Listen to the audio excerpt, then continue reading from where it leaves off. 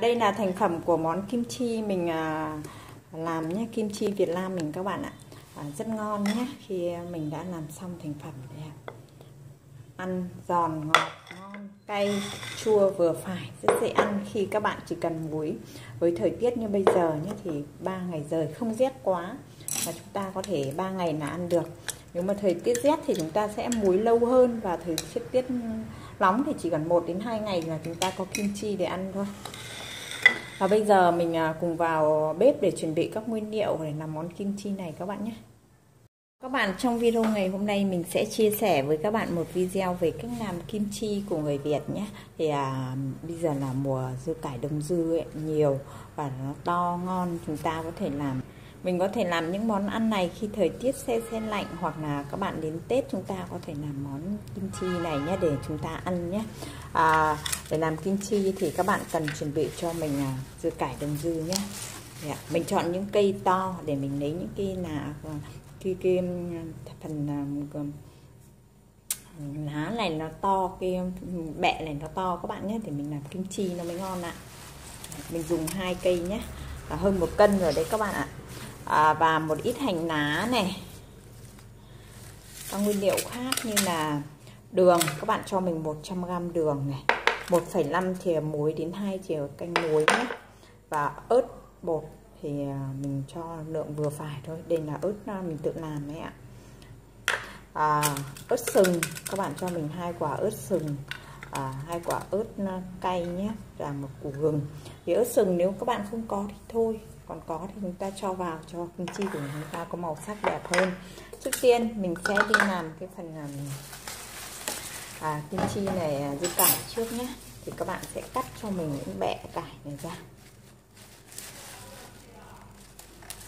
Mình cắt ra nhé. Đó thì mình rửa sạch cho mình thái để cho nó dễ thái nhé dễ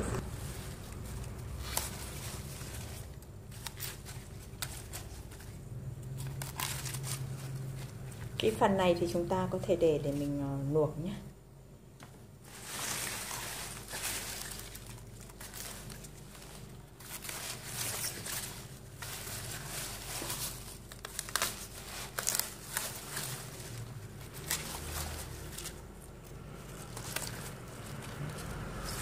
Để muối kim chi thì mình à, chỉ lấy cái phần phần phần đây các bạn. Mình sẽ không lấy phần lá này nhé mà mình chỉ lấy cái phần này thôi.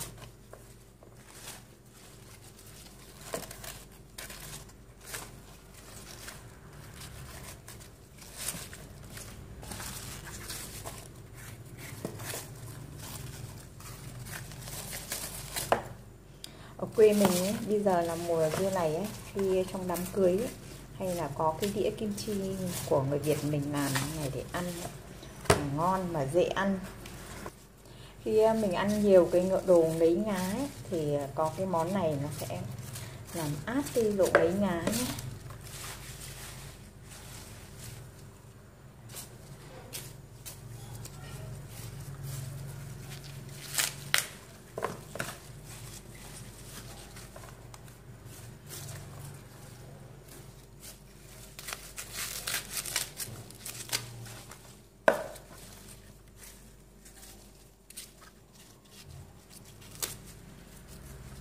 đó mình sẽ đem đi rửa cái phần dưa này đã nhé, xong mới thái nhé.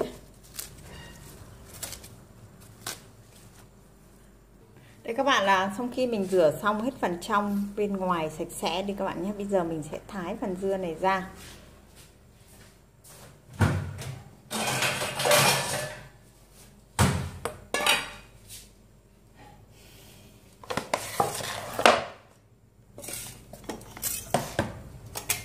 Sẽ thái theo những miếng à, ăn vừa phải các bạn nhé.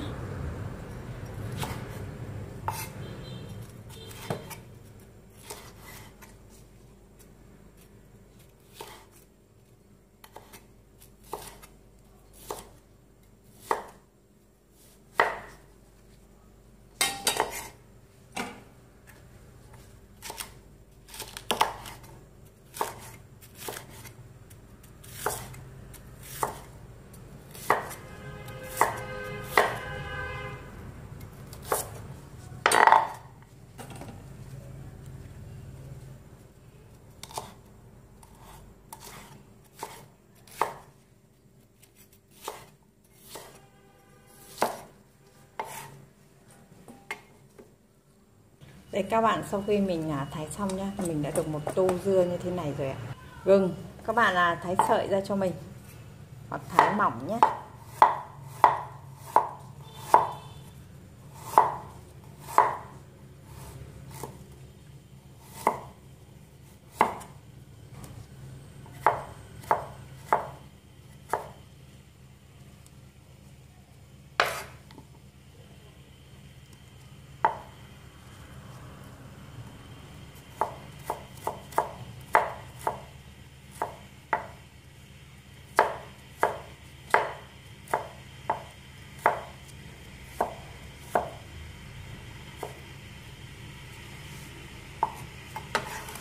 mình cho luôn vào tô dưa.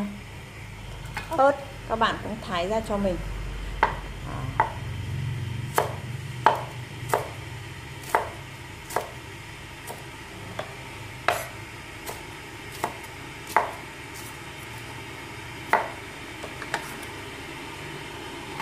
Ớt sừng thì mình à, sẽ thái sợi ra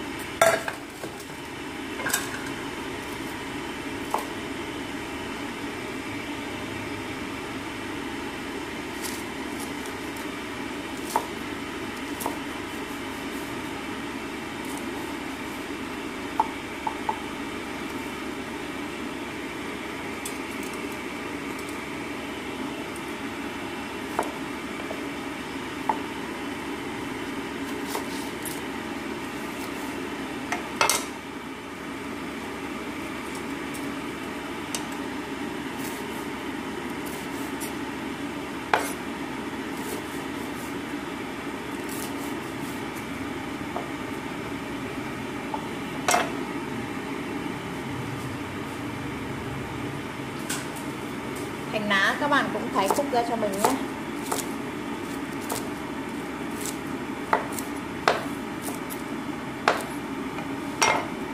Đây các bạn mình đã được một cái à, bát như thế này nhé. Nó hơi đầy nên là khi mình trộn nó sẽ khó.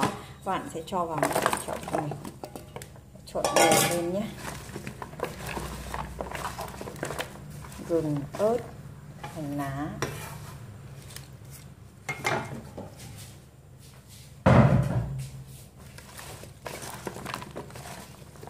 Rồi, bây giờ mình sẽ cho vào đây phần à, ớt ma cay của Việt Nam mình nữa nhé. Nếu mà các bạn à, muốn có màu sắc đẹp ấy thì chúng ta có thể dùng ớt bột Hàn Quốc. Mà không có thì thôi nhé thì mình làm kim chi của người Việt mình thôi.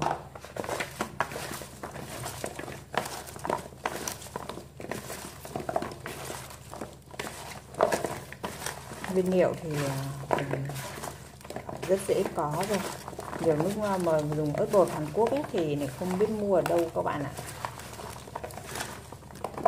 Không phải là đâu cũng có bán. Ở quê mình là ít bán nếu các bạn vào trong siêu thị thì là còn hay có. Rồi và bây giờ mình sẽ pha nước để muối nhé. Pha nước để muối thì các bạn cho mình đi tô này. Mình cho 1,5 cái thìa này đến hai thìa này muối các bạn nhé. Đấy rồi đường. Các bạn cho mình 100g đường. Mình sẽ cho nước ấm tay nhé.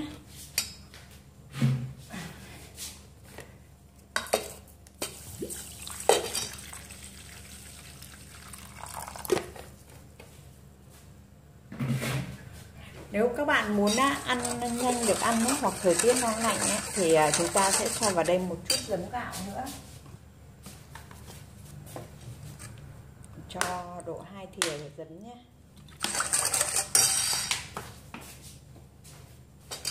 Mình sẽ hòa tan cái hỗn hợp này lên.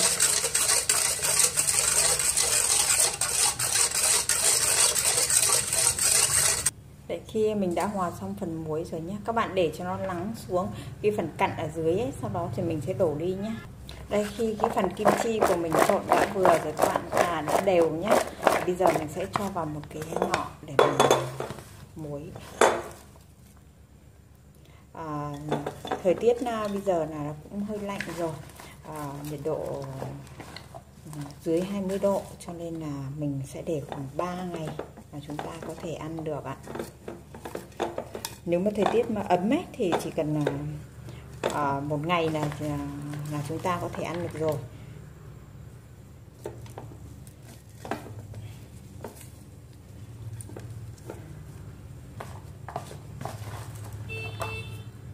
Thế các bạn khi đã mình cho xong rồi nhá. Bây giờ mình sẽ cho cái phần à, thịt nước kim chi để muối nhá.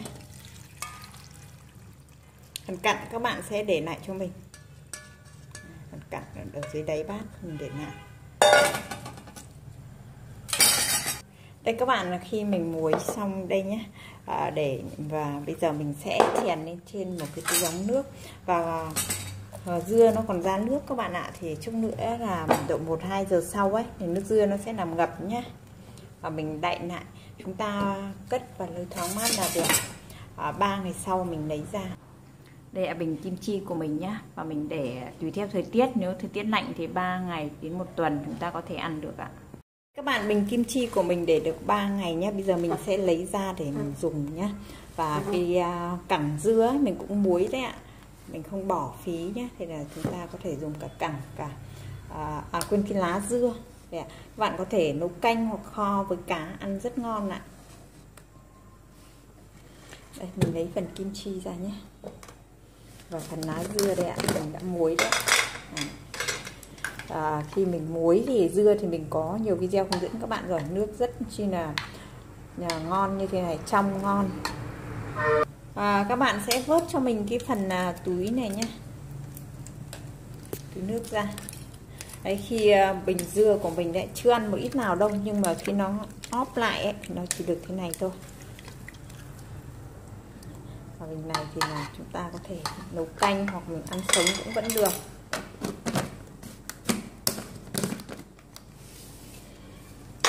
Mình ăn thử nhé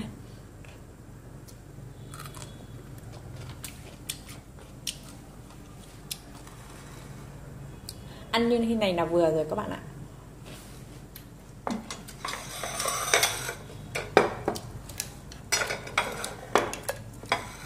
Các bạn chuẩn bị cái đĩa để mình lấy phần dưa ra. Cay, ngọt, chua, vừa đủ ạ. Đây là món nga kim chi của người Việt chúng ta đấy